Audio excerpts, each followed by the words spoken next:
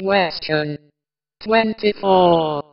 What psalms seem to have been written especially for the comfort and encouragement of God's people during the time of the seven last plagues? Answer. Psalms 91 and 46. See also Isaiah 33, 13, 17. The great decisive day is at hand.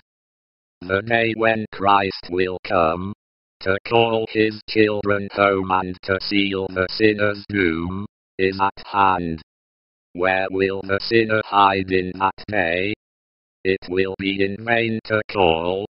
You mountains, on us fall. For his hand will find out all in that day.